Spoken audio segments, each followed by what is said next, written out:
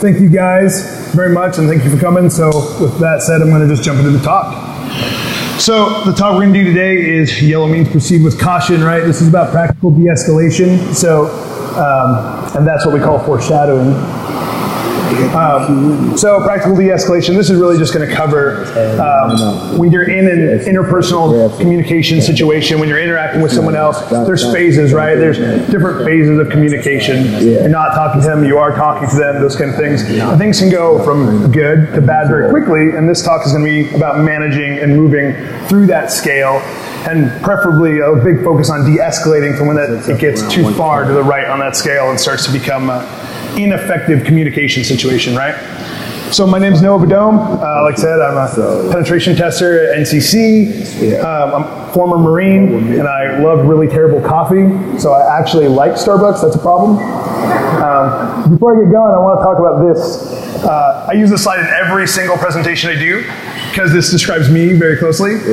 In this talk specifically, this means something better because this doesn't apply, right? So in life, I'm a big fan of the direct approach.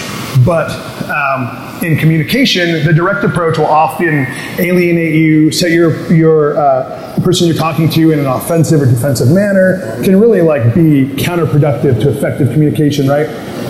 talking and actually like taking the time to understand what someone else is saying, to communicate, to ask questions, to really be part of the process of getting to know them rather than just pushing to that end goal will cause much more effective communication in the long term. So even though this is really, really cool, this is not for the content that we're gonna be talking about. So that's just my little uh, disclaimer there. And my other disclaimer, basically like this stuff, these techniques I'm gonna talk about are really effective and I use them a lot and they do really well but you have to practice them. You have to be conscious about when you use them, right? Um, and don't do anything illegal or stupid that's going to get you hurt because you can't blame me. All right, so, so about this talk, we're going to talk about moving through a scale of, uh, of social interaction, right? So whenever I interact with anybody, basically at all, um, any social interaction, I go through a scale, right? The scale starts at green, goes to black. So green, yellow, red, black. And as I'm talking, I'm trying to evaluate where along that scale I'm at and where along that scale I want to be, right? So we're going to talk about, use that scale as kind of our object of how we move through those communication phases and then how we de-escalate the situation to stay in the optimal phases without spending too much time in the suboptimal phases and so that we can keep this whole conversation thing that we're going to be interacting with comfortable for both people, right? And I'll talk about that more down the road. So this applies to social engineering, this applies to just interpersonal communication in general, and I pull a lot from principles used for uh, crisis negotiation and those kind of things, right? So even if you're not an SE, this can be applicable in almost any social situation you could be in where you're communicating with another individual, right? We're going to talk about a lot about active listening and those kind of things. So let's get right in. Uh, this is just a caveat. So it's going to sound kind of like Cooper's colors, but it's not about uh, situational awareness, which Cooper's colors is a situational awareness color scale. This is about um, the, the status of a social interaction. So even though it's a similar color scale, it's not the same thing. Just didn't want to uh, offend Mr. Cooper. So overview, right? We're going to talk about the scale. We're going to talk about the principles that I use. We're going to talk about maintaining yellow, which is basically at most times the most optimal phase to be in. We're going to talk about the red line, which is that definition between moving from yellow to red. And then we're going to talk about doing damage control or de-escalation when things get a little too hot, right? So the scale, right? So the scale goes from green. This is at the point where you're not interacting with your target in like a meaningful way yet. This could be, this is like what you're doing when you're trying to tailgate. This is when you're just walking down the hallway, you glance at someone and wave hi or those things, right? This is not actively engaged. Yellow is actively engaged. So at this point, we're communicating, we're processing data, we're having a conversation. Red is when a person now is trying to actively disengage or trying to aggress into a point where the conversation and communication is no longer effective on both sides. And then black is when we've entered that escalation of force. The person has hung up the phone, the person has left the interaction, run away screaming with their hands in the air, whatever they happen to do, right? So, principles. The most important principle All right. So the green phase, right? Green phase is not actively engaged, right? This is you're evading detection. That's what it's most optimal for. We're just moving along. That's when we're tailgating, when we're trying to just do some recon and observe and be unnoticed. So at this point, we're basically just part of the background noise, right? We're non-threatening. This is the this is the recon and tailgating and intrusion phase most of the time, or just when we're walking down the hall. So transitioning from green to yellow, right? So when we're transitioning from green to yellow, this is probably one of the most pivotal points, right? This is when you walk up and introduce yourself, when you start your phone call, when you initiate an interaction, right? And how you initiate that interaction is key to where on that scale you start, right? So if I walk up and I'm suddenly just a jerk, we're probably starting pretty close to red.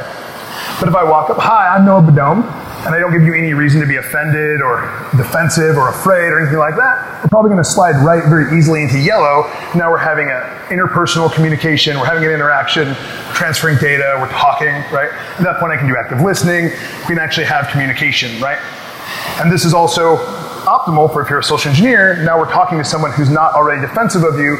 We can start moving towards a relationship where we can request data, we can get passwords, we can get information and recon, we can get them to open the door for us, those kind of things. Right? So we want to be very careful when we initiate transfer from green from green to yellow, right? So ways we're going to do that, we're going to speak uh, at a natural, uh, non-aggressive pace, right? We're going to introduce ourselves. We're going to pause naturally, um, and we're going to make sure that we're maintaining some good eye contact, open body posture, uh, level tone, matching their mood a little bit, those kind of things. We'll talk about that a little more too.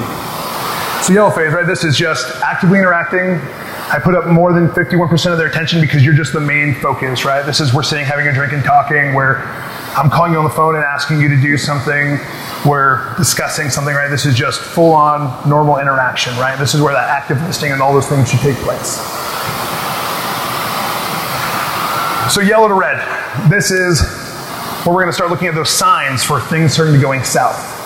Right? So essentially the things you're going to be looking at and when what it's going to be is when people start to become defensive, when people start to become unresponsive, um, overly directive in the conversation, people start to be afraid of a situation or uncomfortable, so they try to take control.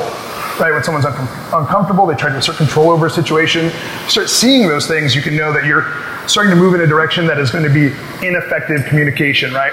The more uncomfortable your target is, the more uncomfortable anyone in a conversation is going to be, the less effective your ability to communicate, get them to hear you, and your ability to hear really what they're trying to say is going to be, right? Because when people are uncomfortable, we start to say stupid things. we start to not be as good at communicating. So it's negative both for the person who's trying to communicate to you and also for the person who's trying to get that information, those kind of things, right?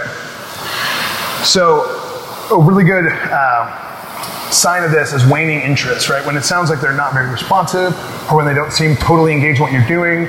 Um, on the phone, it could even be that they're Googling something because they want to find out if you're legit so they can hang up on you, whatever happens be. Those are those signs that start to say, okay, we need to think about this transition, right?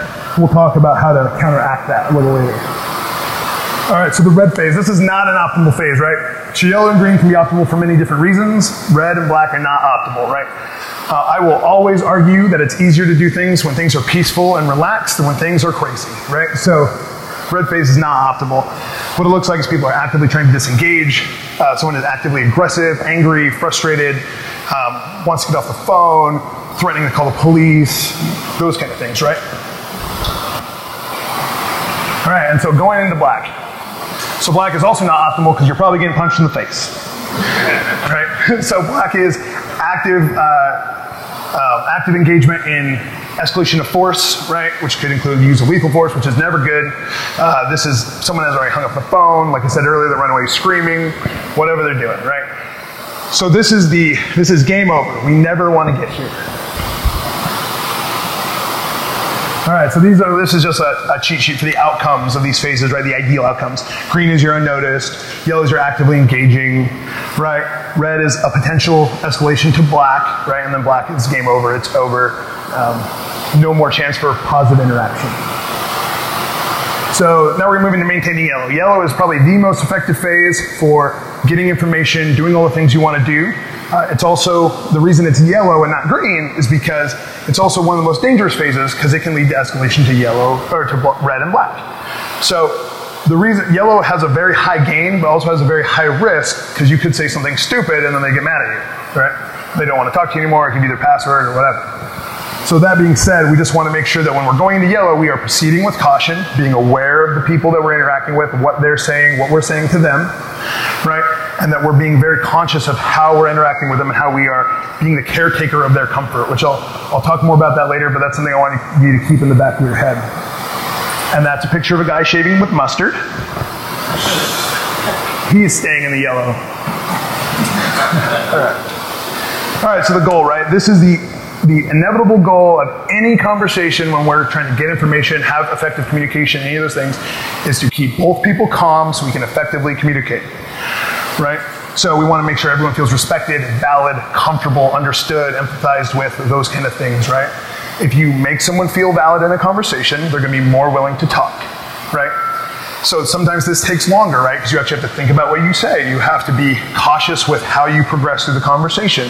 So sometimes when I'm doing phone, when I'm doing like SE on the phone, it could take me 30 minutes to get someone's password because on some cases, one time I spent an hour and a half troubleshooting someone's iPhone for them to make sure until they finally gave me their password to make it easier, but I already fixed their iPhone, right?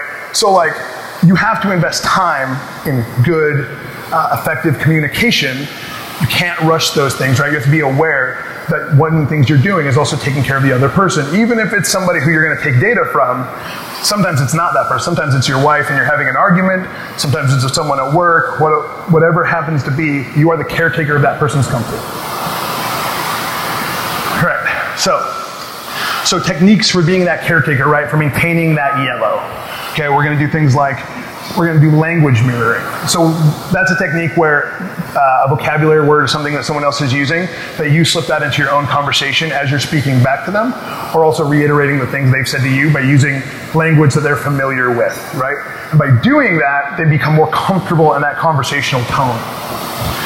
So next is mood pacing, right? This is like if someone else is calm, you stay calm. If someone gets a little excited about something because something really cool happened, you should also get excited with them so they feel validated, emphasized with, and there's a rapport, right? So people in general are vain, right? We love mirrors, right? We like, like, oh, I want to look good today. Even if like we look terrible, we will like figure out the best way to look the best terrible we can that day, right? so like people love mirrors and using that mirror is going to make people more comfortable, right? Reflecting the positive things of somebody back at them in conversation is going to make them more comfortable and more willing to talk while we're discussing. Is going to make them more willing to listen to you. And that's the big thing is that the more comfortable they are, the more they feel listened to, the more they're going to be willing to listen to you. So empowering, right? This is like, you don't want them to feel like they're just being pushed around in a conversation most of the time. Sure, there's side cases, but most of the time you want to make them feel like they're an active person, active participant in the conversation, and they have some say in direction, even if that say same direction is a lie, right? One thing I do a lot is I get people to give me their password by having them change their password because at least they got to tell me they weren't going to give me their password, right? It's the same thing, but they feel like they're in control of that situation, right? So empowering them, making someone feel valid in a conversation is going to be, again, another technique to get them to listen to you. It's going to keep them calm and also let you get information, data, action, interactions from them. Right. So, giving versus taking. This is like a big thing I harp on a lot is giving versus taking is any time where you can volunteer information, anytime you can ask questions and give them a chance to be like active in the conversation where you can concede some ground is going to make them feel more comfortable to make them more willing to trust you, right? So the golden rule, this is not that golden rule. This is the, uh, it's the long con is usually better, right? So it's usually better to disengage from a conversation without ever getting information, without stressing, other, rather than stress somebody out. Because if I can disengage from you on a good note, I can probably come back later to gather some other side information and then use that initial rapport of conversation to build at maybe another target or a side goal or something else I'm doing, right? Rather than burn a conversation or burn a relationship, it's better to just exit gracefully.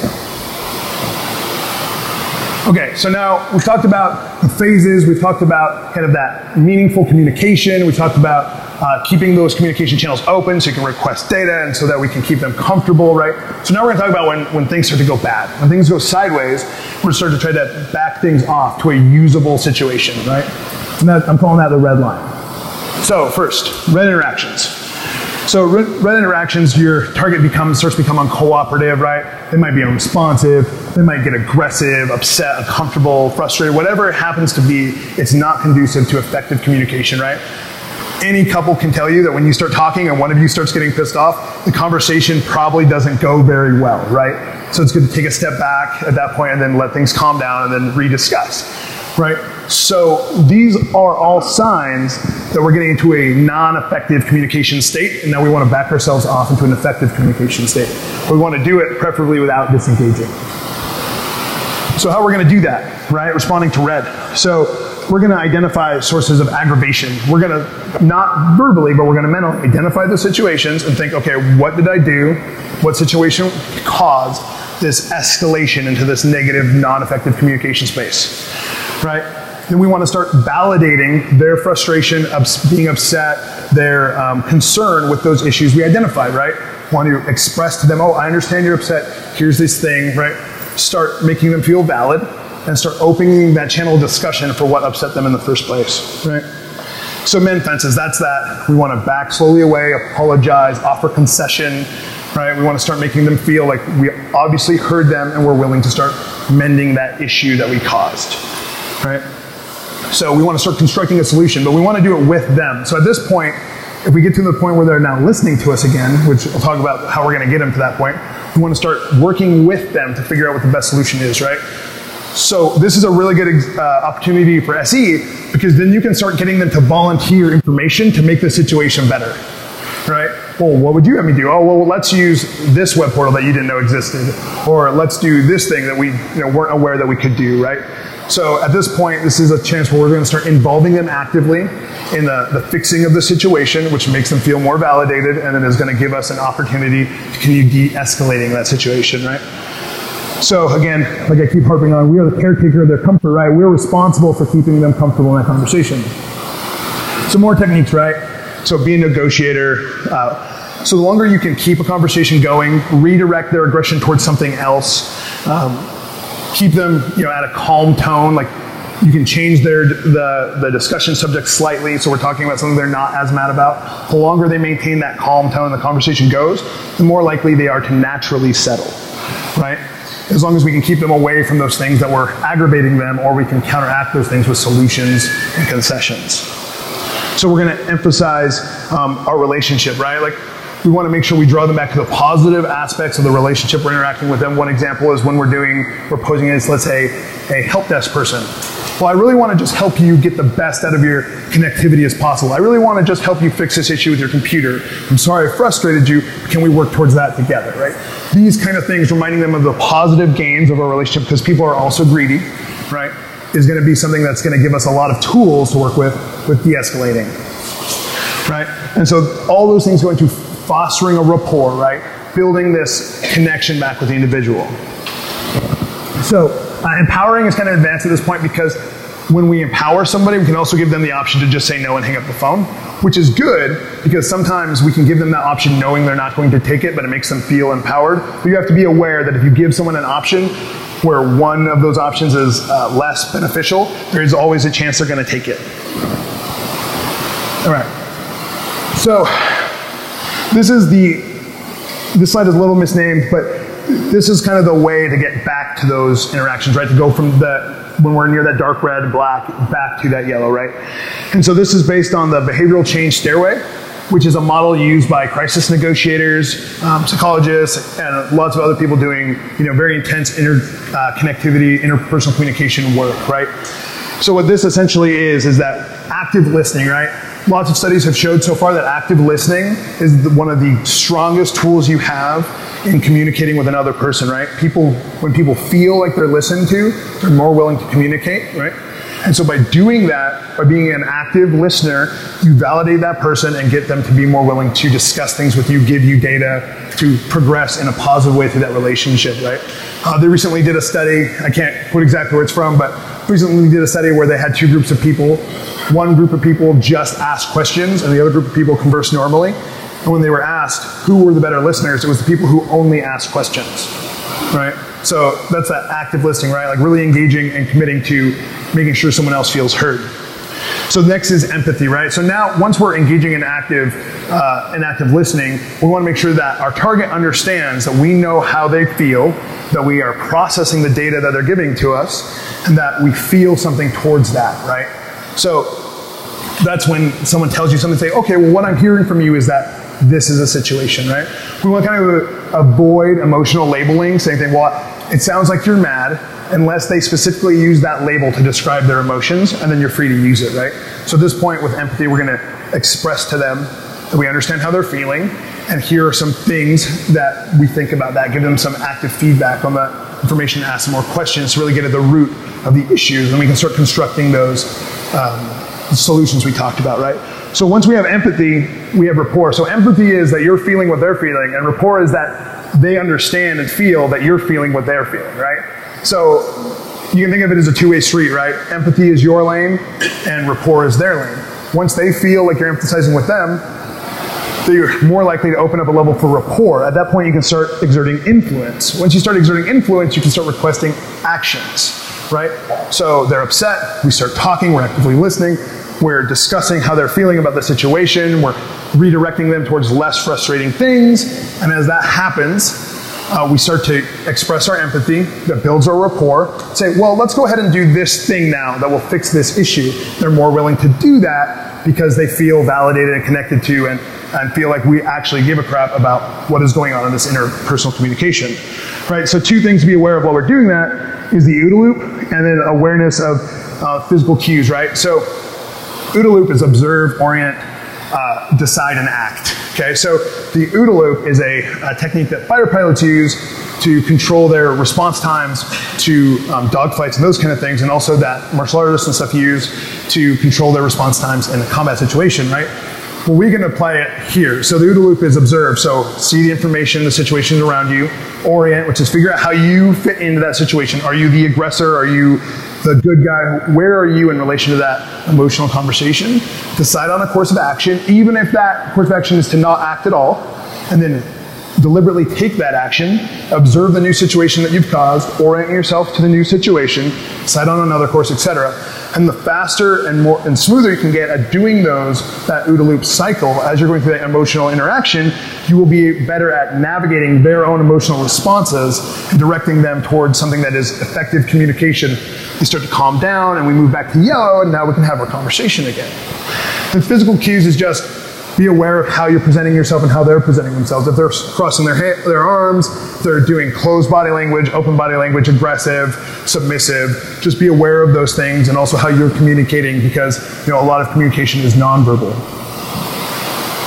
So, examples, right? Um, I don't have a lot of concrete examples I can actually share, but I, I like to talk a little bit about like interpersonal communication with social engineering, specifically like phone calling, right? So when you're doing a social engineering phone call, I'll just go through like a typical phone call I've had. So I call the person, they answer the phone, and I introduce myself. So maybe I'm got a little too much caffeine in my system, maybe I'm a little stressed out with work, whatever, and I introduce myself and roll right into my pretext without giving a natural pause or them a chance to talk. They immediately, almost nine times out of ten, become defensive, and that call usually doesn't go very well, right? Because they feel aggressed on initially, and I set that initial placement in the scale much closer to red, right? Now, when I start that call and I give a nice pause, introduce myself, ask how their day's going, say, okay, and then roll naturally into, like when they ask, the, um, well, how can I help you? We roll naturally into our pretext, and then we start to progress through that interaction, right? Taking time to discuss things that come up in a natural, calm way, right? We're not really like harping on this one specific goal we're trying to get to. We're eventually going to get those credentials, eventually going to get that information, eventually get them to get the interaction, but the eventually is the key. We have to be willing to go on that that um, interaction with them in a way that they feel like they are equally part of the communication, right? So I'm not going to go through every one of these things, but I just want to like focus on the negotiator stance, right? So when the situation starts to go bad, you need to take a step back and think, okay, so this person is upset. Why are they upset? And how am I going to address the issues that they're upset about and move them back to yellow so then I can then start requesting information, those things again, right? And so we're going to go to that behavioral change stairway. We're going to actively listen. We're going to establish that empathy. We're going to get that rapport going, and then we're going to start backing them down towards positive interactions, even if they're little things, right? It's important to remember that little wins lead to big wins, right? So if we can get them to do one little concession, that opens the door for potentially more trust on their side, and also more rapport, and then the ability to exert more influence. All right, and so these are just some references for stuff that I've talked about, and they'll be available with the slides.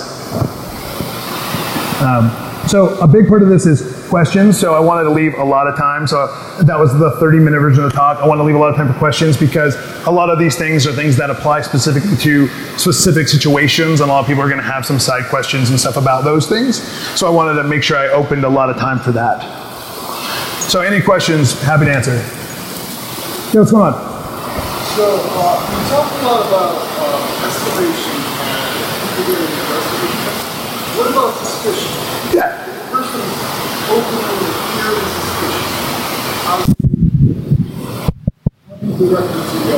Sure. So actually, those same techniques, right?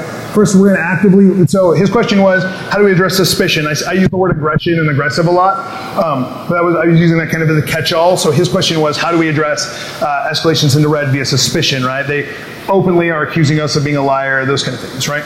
So we're going to use that same behavioral staircase uh, approach, right? We're going to actively listen and we're going to acknowledge the fact that they think we're full of crap, which we probably are, right? So we're going to say, yeah, I understand this sounds fishy, and here, here are some reasons why, and here's why I'm sure that you're good. I'm glad that you um, identified these things, but this is what's going on, right? So we're going to actively listen. We're going to emphasize with how they're feeling about being suspicious. Then from there, we're going to try to build that rapport by giving those reasonings. And then from there, we're going to try to influence them back in a positive way, right? If we can't, if they feel super uncomfortable about it, we're going to say, you know what, if you feel really uncomfortable with the situation, I understand. I'm pressed for time too. Why don't we go disconnect and I'll have my supervisor send you an email, right? Because at least then you're maintaining a positive tone and giving them at least a time window where they're not going to escalate, right? Did that answer your question? Yes, please. Any other questions? Oh, go ahead.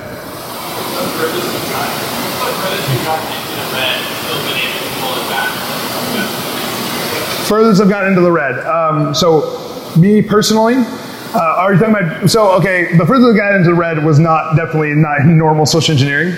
But I mean, I've been in situations like, you know, at a bar, and then someone pulls a knife and wants to do something crazy and is threatening to, you know, wants to go outside and all these things, right?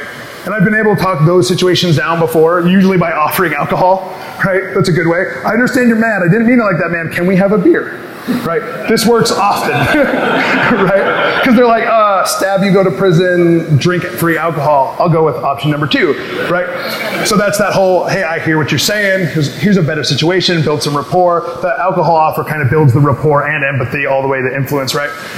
But,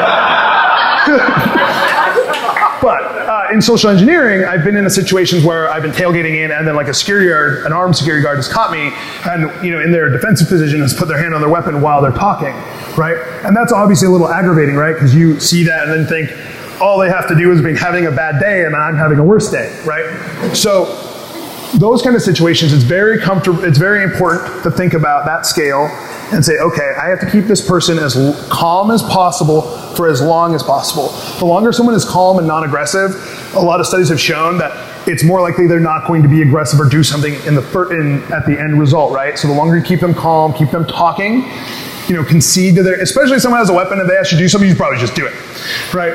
Um, and those are also the cases where you might start to look at pulling your get out of jail free letter if you don't think you can come back from it, or if you have any fear for yourself, always, you know, go to that position of safety, right? Because no pen test is worth getting shot over, right? But um, I, have been able to talk those down, and it's all using that behavioral staircase model, right? Active listening is the greatest key, and comfort is the most integral component to getting someone to listen to you. So, Physical proximity and touching. Oh, so um, it's important to understand the like the cultural paradigm around that, right? So, like in America, our cultural paradigm is like a lot of people want like to. Oh, sorry, sorry. He was talking about physical proximity, right? His question was about physical proximity and touching during these communications to keep them effective. So, um, and my my response here is that we have to be aware of the cultural paradigm, right? Some people are going to be more comfortable closer, depending on culture, depending on um, you know that individual's upbringing, all those kind of things. And if you're okay with that comfort, you can be standing closer, those kind of things. But in my personal experience, it's better to keep about two body lengths or more, or two body widths or more from that person, and give them their space. And if they start to you know retract, do not advance, right?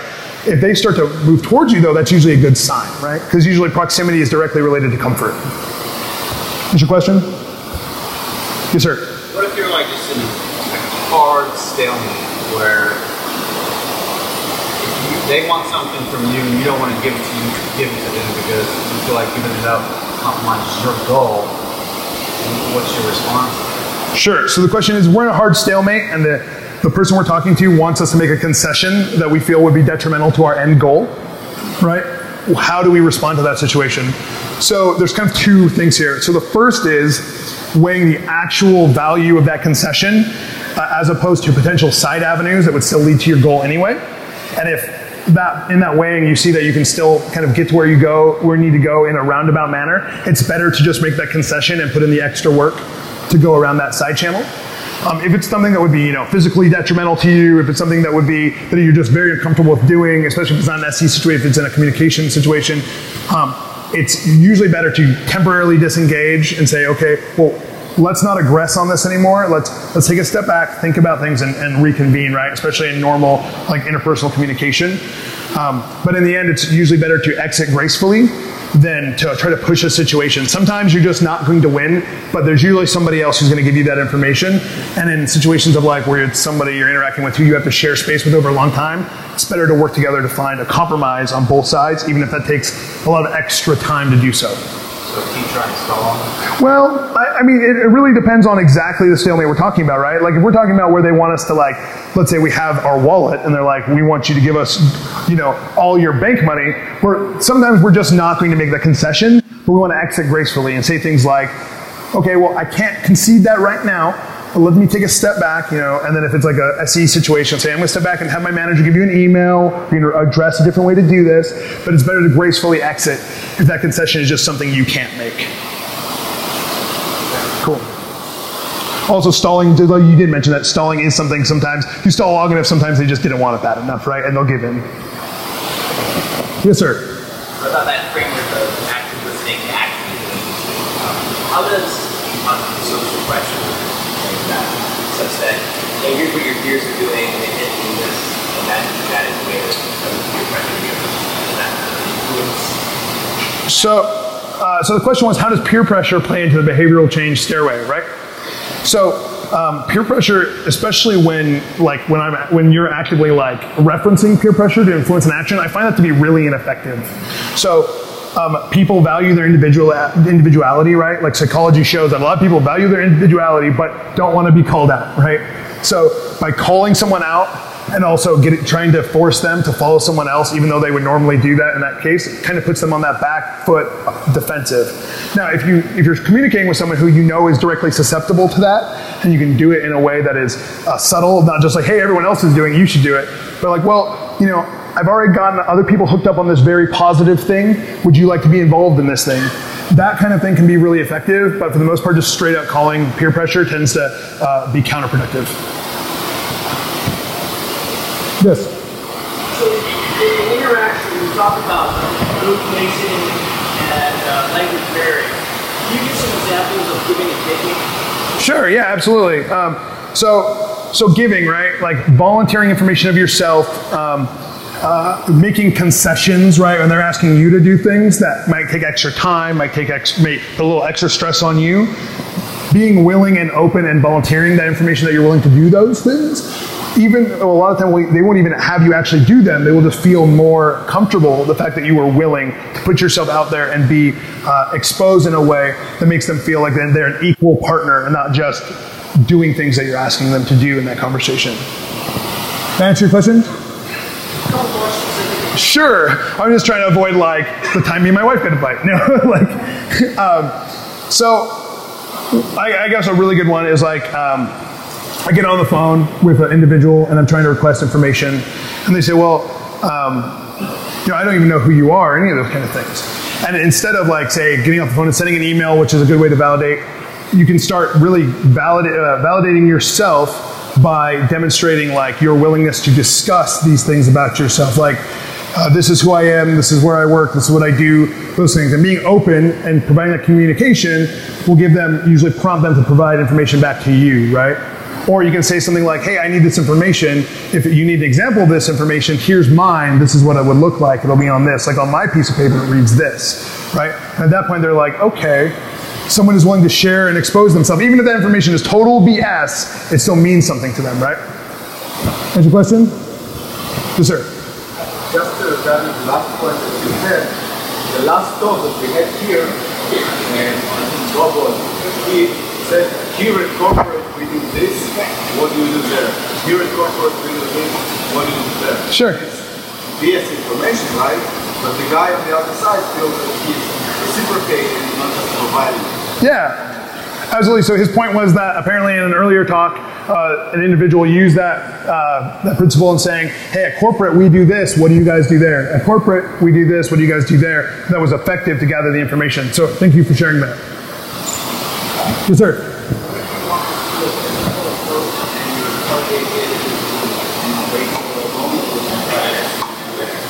So uh, the question is, if you want to do a physical, physically approach somebody and they're alone in a room, right? Um, or they're in a room, period, right? So first thing is to remember that people, you know, in general, right, we're all very protective of our space for most part. Like,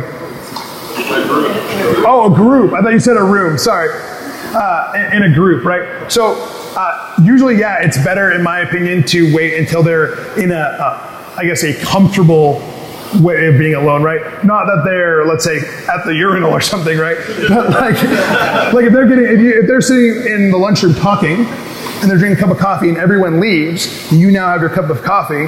That's a good time to say, "Hey, can I sit here?" Sit down and then start discussing, right? One of my favorite things to do on physicals is take a lunch when I or a breakfast when I go in in the morning, like a banana and something.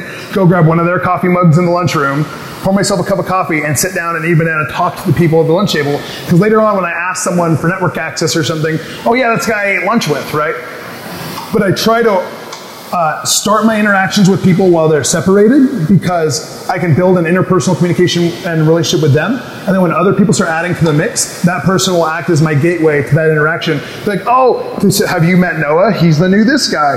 He's really great. Let's all have a conversation. And at that point, then we can start talking, right? It's easier to integrate yourself into a group by starting usually with one individual, except in my opinion, like large situations like this, where we have like a large conference or concert or a social gathering of some sort, it's good to like slip up into the group and then be able to volunteer information and also call yourself out for being the guy who just just jumped into the group. Like, oh hey, I'm sorry to interrupt, but I just heard this and this and this. Oh yeah, and then you get pulled into that conversational flow. And eventually when they start asking you questions, you know you're at that point where you can start really asking them questions and building that active listening and that rapport. Answer your question? Yeah. Uh, have you actually answered the question you asked? Oh, another room? Sure, yeah, yeah. yeah. So um, uh, you get into this a lot with like uh, while you're in like doing physicals, and there's like you're moving through the building and you need to get additional access, let's say to a secured area or something like that, or you you don't know where something is, and sometimes the best, the easiest way is just ask. Um, so when you see someone in a room, the, the first thing is you gotta remember they're very protective of their space. People are very like, this is my space, especially let's say their office, right? So the first thing is if the door's shut, you should probably just not. You should probably leave it alone. Wait till the door's open or till that person comes out of that space.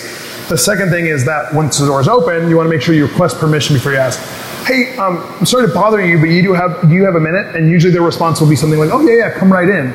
And then once they've invited you to your space, there's already a level of rapport that has been built because there's a level of comfort they have by being in their own personal space. And that office is theirs, right? Or that, that room is theirs, or that, that space that they're currently in control of is theirs, right? And at that point, then you can start addressing. Now, if there's people in that room, you probably want to avoid that too because they're probably locked into a specific social interaction. And that's not really going to be a good channel for injecting yourself or building that rapport and those kind of things. And it can go really fast to red because you go in there and then suddenly like someone else who is very suspicious starts asking questions and then it just all goes crap. Questions? Yes, sir.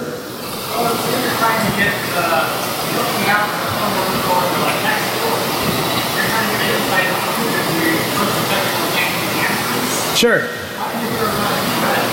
How do that? I get them? How do I get the, the text? So the question was, if I'm trying to get a tech, inside tech support number from somebody who doesn't actually have the number, is that the question? Uh, you use as an export number, they might have inside numbers, but there's not billing or there's employees. Oh, okay. So, I, so uh, I'm having a little tar- trouble hearing you, but it sounds like the, the question is, how do we get inside numbers when we only have the tech support number? Right, without getting too red, because tech support tends to be, you know, uh, one, they're very dedicated to process because process is how they deal with less BS through their day. And as tech support, they are going to deal with a whole metric load BS, right? Uh, second is that their one of their jobs is to be suspicious of situations, and that's why they enforce process, right? So when we initiate the communication, the first thing we have to be aware of are the things that are going to be valuable to them, right? In any communication, if you already know the values that someone might hold dear, you need to be aware of those things going in and making sure that we don't just step on them from the get-go, right? So once being aware that they're probably suspicious, security oriented, process oriented, we're going to get on that phone and then we're going to say, we're going to start trying to inject ourselves into, hey, um, a non-threatening situation that could redirect us to someone else who would probably be more willing to provide us that information, right? So in many cases, I'll be like, hi, this is so-and-so from this, which with information that we've enumerated from, say, LinkedIn, you know, Facebook, open source information gathering, right? Uh, I'm on site somewhere. I have a couple questions. I haven't been able to connect to, uh, I, my phone's dead or whatever. I haven't been able to connect to some stuff and I need to get some information. Can you tell me who I need to call to get that information, right? And they'd be like, oh yeah, sure. You need to call this person. Well, can you give me their direct line? Oh, well, this. Okay. And then a lot of time you can just call the operator, honestly, like if you really need a phone number. And then also there's a really terrible trend in, um, current stuff where like you can just hit a button and get the list of everyone in that name, and then you know so you can just go through those as far as the uh, directories, right? But I would say just avoid directly saying, "Hey, give me this phone number," but give a good pretext, a good reasoning why, right? And be willing to be like, "Or could you direct me to someone who could help me better?" Right? And if they ask for information that you don't have, um, other than being, really prepared, just say, "Well, um, I'm not comfortable with providing that information on the phone right now because I'm not in a secure place, but I'll call you back later and then gracefully disengage. Andrew, question? More questions? Yes, sir. What's the most dangerous uh, red to black situation that you've ever been in, in a physical environment that has to be Part of, as part of social engineering, or okay, so because I did Iraq and Afghanistan, so that's something entirely different. uh, so um, as far as social engineering goes, I think the most so it didn't really go to black, but the potential to go to black was very high, right? So um, I was in a situation where they, they staffed their night security guards, and I did not know this going in, entirely with off-duty police officers. There's another one too where I was doing a one in a very uh, crime embroiled city where this place also had uh, their own police department. Like they, a contingent of police that just hung out in the building, right? So in both of these situations, I'm interacting with a police officer. Now, police officers, just like military or anyone else, they have a specific sets of training and escalation force and those kind of things. But something to be aware of, and this varies depending on um, the branch or the or the police department, et cetera, is the amount of training they actually participate in, right? Because the more you train, the more comfortable you are in that situation you train for. But the less you train, the more information you have about how to interact, but less comfortable you are, which will lead to negative decisions, right? So a lot of time you have junior police officers who use escalation of force unnecessarily or whatever because they were just scared and nervous and hadn't had enough training yet right? A lot of time, a veteran police officer will be in a situation where it gets really, really crazy and they don't go to escalation of force because they know how to handle that situation and step it down, and it end up being better for everybody in the long run, right? So in this situation, I go into the building and I immediately identify that he's got, you know, a police issue firearm on his hip and his like badge and lunch is pegged to his lunch bag and is sitting on the counter and he's eating a sandwich at like 10 o'clock at night and I'm trying to pose as somebody going in to get something, right? So at this point, it's all bad, right? Because he's looking at me, he doesn't know me. Usually, no one shows up, right? Um, I was eventually able, based on uh, information gathering and stuff, to avoid escalating at all. I had done all my research. I approached him very cautiously. I would make sure to keep my hands visible, to be calm, to not be threatening in any way, and be very respectful, right? Um, especially like older males. Um, like older male military oriented people are love sir yes no respectful interactions. And those tend to put them in a very positive place. So knowing you know the social some of those stereotypes right can be very effective to use. So you go use those to initiate that initial conversation and keep it calm. And i was able to talk him into opening the door and getting me upstairs because i forgot my badge or whatever right? But um, it was potentially really bad, right? Because if I came in and then upset him, I could be on the ground. You know, he probably isn't going to let me pull my jail, get out of jail free letter, right? So, um, and the, the I think I think that was probably the worst as far as like um, like actively risk. Now there was an unarmed security guard who confronted me. Um, I had produ- created some documentation, and he wanted to take it from me, but I knew if he took it from me, to validate who I was, it was going to blow my cover because on, it looked good superficially, but on inspection, it was not going to hold up on deep analysis. Um, and so I needed to avoid him being wanting to take that that credential, right? And so doing so, I needed to keep him talking for long enough to build enough rapport and trust with him that he, you know, said, okay, well, I think you're good, doesn't matter, right? And redirect enough from that initial target of that credential to something else that I could give him or was willing to give him. Like my driver's license, because I really don't care if he has my driver's license, because this is part of a project, I'm going to get it back, right? Uh, any other questions? Yep. How important is the community of the reasons that you give? For example, I remember there was a study about people trying to this social engineering experiment where you skip in line copy machine and you give the most superficial reasons like, can I skip ahead because I need to meet colleagues? that was that was it. That was the whole reason. Sure. And have you found that to be true? That just the just having a reason of can I do this because of and the reason? How important is the validity of the reason you give? Sure. So uh, her question was, how important is the validity of the reasoning that I give, you know, for whatever reason in a social interaction? And uh, the answer to that is it varies a lot, right? A lot of the time, getting to the front of the line is as easy as giving some BS excuse of, oh, well, I really have to pee, or you know, whatever it happens to be, right? Um, one that, like, one of the reasons that is like completely un. Um, uh, verifiable, but like really not that important to other people, but they builds that sympathy and empathy is like, uh, you know, my, my pregnant wife is waiting out in the car and I need to get her to her doctor appointment, but I have to get this done. Right? They'll be like, oh, you know, prevention of life and limb, uncomfortable person who naturally I'm going to have sympathy for. Sure, you're a nice, caring person. I'm going to let you do the front of the line or, or whatever, right? But it's really important to know your audience, right? We, when we start to have a conversation, there's a lot of questions you can ask, a lot of interactions you can do to really get a feel of who they are, right? They're a sympathetic person, you know, or if they're just a, a really like a logical, uh, procedural person, and that helps you craft those uh, the depth of excuse you need, right? And then just have a lot of them prepared, right? What's going on? So you say um, you practice a lot, but um, specifically for you, what do you do to practice? Coffee shops and bars. So uh, the answer was practice a lot. Well, how do you practice in your free time? Obviously, in like a you know situation, you're not going to get shot, right? Um, and so coffee shops and bars. So what I tell beginning social engineers um, or people who just don't aren't very good at social interaction, period, is go to a coffee shop with a notepad and go sit down and just watch the interactions and write down your thoughts about those interactions. The next time you come, make a goal like I'm going to have a conversation about one topic with one person, right? And then write out how you're going to do it and then go and make that approach. You're probably going to fail the first couple times. Once you get that, maintain that conversation, and usually the goal is like a time amount. Like we're going to have a conversation about the weather for two minutes or whatever, right?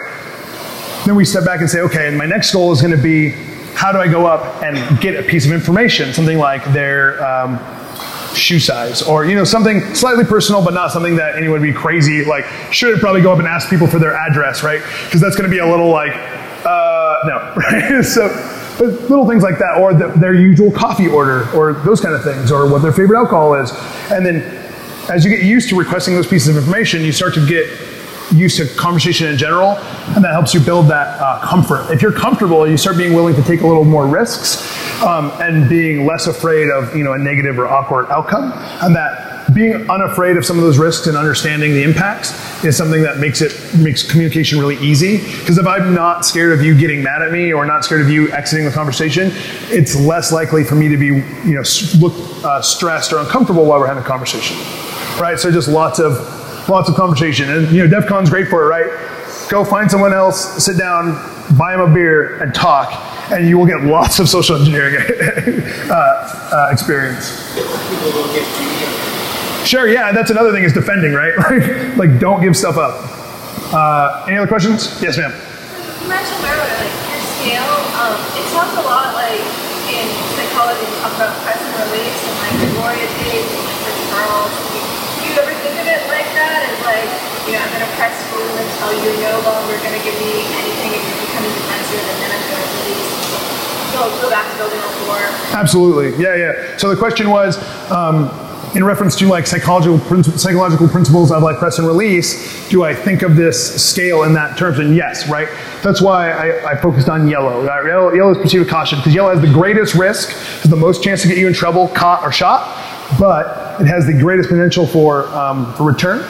And because of that, um, you can really like work with how to push that red line, and that's why I called it the red line. Get to right to that point where you're getting the most information, you're generating the most risk, you have the most control of that emotional interaction. And as it starts to get bad, having mastery of those principles, you start to back it off, back it off, and then start requesting information and find out where that threshold is and find that sweet spot where you can just sit and gather a specific type or levels of information for as long as possible for that graceful exit.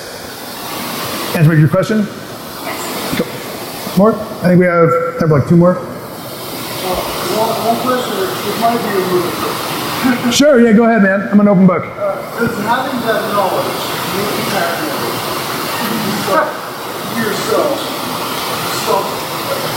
make you get any No, so I have the, I, I live on the principle of you wake up dead every morning.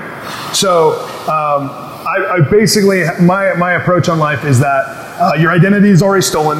You're going to die at 12 this afternoon. And um, your house is burned down while you're gone.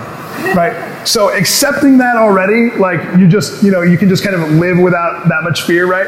So the simple fact is someone is going to get information from you one way or another, right? There are databases that people can get licenses to get access to and they can just look up your social, right? So the fact is, is like you can assume that lots of that data is already known. Now, Am I like protective of specific data and choose not to volunteer? Absolutely. But am I afraid that they're going to gather it for me or I might slip? Uh, everyone's going to do something stupid sometime. I, I personally feel the best you can do is plan very well for contingencies and have lots of things backed up, right? Have, you know, for instance, like with the house thing, have money in savings and have insurance. You'll be okay, right? Um, bank with someone who has very good fraud prevention and fraud insurance, right? These kind of things. Same with conversation, right? Don't go up and start a conversation with someone if you feel that you are grossly outmatched or you feel that you aren't comfortable at that time or you're very stressed out or you're having a bad day, um, unless you just need to talk because you, you probably are more prone to make mistakes. Yes? Most people are not BSers. What percentage of real information you give somebody in a conversation feel comfortable talking to you versus fake information about yourself or something that you are?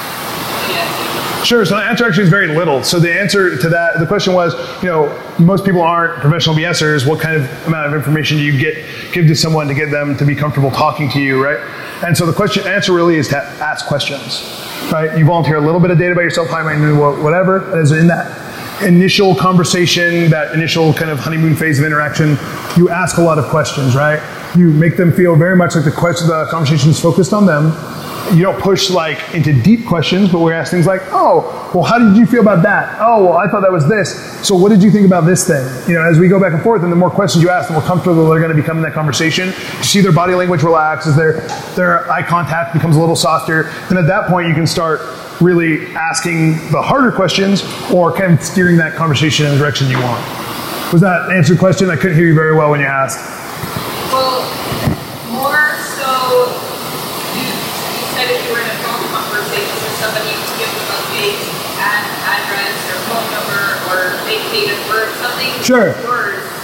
But all of that is hard to keep track of. Oh no, I, I usually use, so the question was like fake data that you provide. I usually use real data for the most part because unless you're, so one, if you're a criminal, you can get someone else's data and provide that and make sure you keep really good notes. And the, the other thing is otherwise, like in a social engineering situation where I've been hired by a company, um, unless I'm specifically afraid that they're going to research me, right? I will use actual information because it's something I can validate, it's something I can prove, right? Like, hi, my name's Noah Beddome, and like a lot of times I'll say, I'm, this is Noah from the help desk, unless I've specifically identified uh, or felt like I needed to specifically identify people at the help desk, either like LinkedIn or something like that. Then I'll use their information, but I'll also do the research, find their date of birth, their home address, and all those things as much as possible. Make a very good dossier, and then keep that and maintain that the whole time, and make that my character for the entirety, unless I have to switch for some reason, like my cover got burned or something.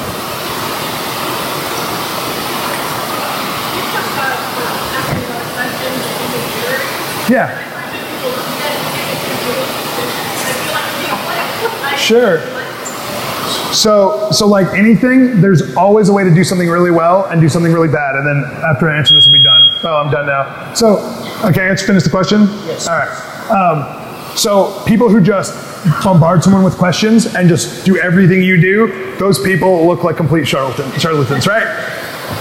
But it's anything with a measure of um, of discretion can be effective, right? Don't ask a billion questions. That's one or two questions that would elicit a lot of talking from the person you're talking to. Then, as that person talks a lot, that distance between questions becomes less suspicious, right? Pick one or two pieces of language that are natural and could be, you know, use you could be using anyway, and just fit them in later in the conversation naturally, right? The, the goal is always be natural, to be as calm possible. As close as you can say to the truth, the more comfortable you'll be. Hey, thank you very much for everybody's time. I hope you enjoyed the talk. Thank you so much.